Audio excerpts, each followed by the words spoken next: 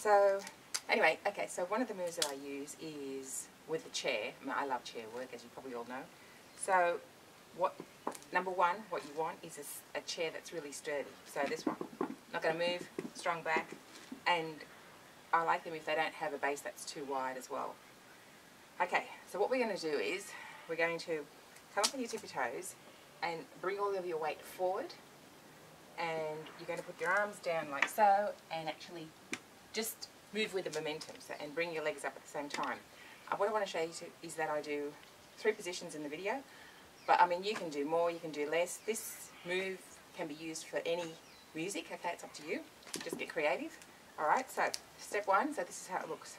So we go over, okay, you bring your hands down and you bring legs up and bring your right leg up to your left knee so it looks kind of nice. Hold it. One, two, three, four, five, six, seven, eight. Open. Hold it. One, two, three, four, five, six, seven, eight. Straighten. Hold it. One, two, three, four, five, six, seven, eight. Bring it back to look nice. And then come down. And then stand up.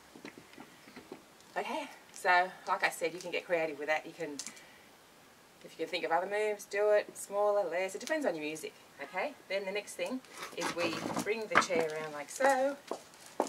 And then, remember I sit. And then we sort of go one, two. But again, that depends on your music. You know, you can go three, four, up to you.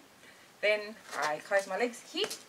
So I'm kind of on the diagonal and then I stop and then I pop the legs open. Now when I do this I'm hanging on to the back part of the seat here and I'm actually hanging on to the part of the seat here. Now you can't see what I'm doing so I'll just put this up for a sec. Okay now what we're doing is kind of like grinds alright so hip grinds. So you lift your hips up, you bring them forward, thrust forward and then as you pull them back you close your legs and you so you're kind of hovering up in the air. Like so. And again, I mean I only do two. I do really two really quick ones, but that's the move. And again, that would depend on you and what you do. Then open the legs, and then I do cross, cross, and then down, look up, and then bring the hand up, rock, rock, rock all the way around. So basically that's it. But like I said, up to you. You know, I had some people ask me about that move, so that's the breakdown. You just need to try it. It's, it is a bit scary sometimes on the chair, but I mean, just trust yourself. As long as you've got a sturdy chair, you'll be fine you can do it. Okay? So thanks for watching and happy dancing. See you soon. Bye.